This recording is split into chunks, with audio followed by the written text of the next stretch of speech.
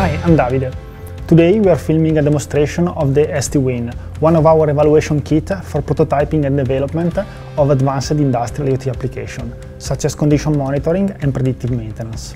This video is going to be part of the online sensor test virtual event that we are holding from the 23rd to the 25th of June. Please join us to discover all of our latest product and solution for your sensing application.